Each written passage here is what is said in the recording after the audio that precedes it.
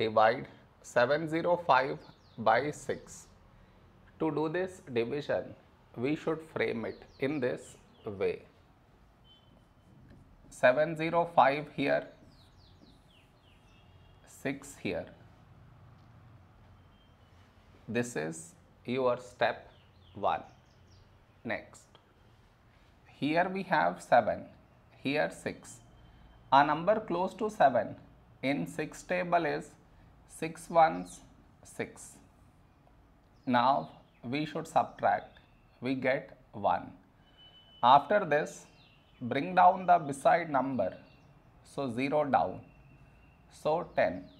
A number close to 10 in 6 table is 6 ones 6. Now we subtract, we get 4.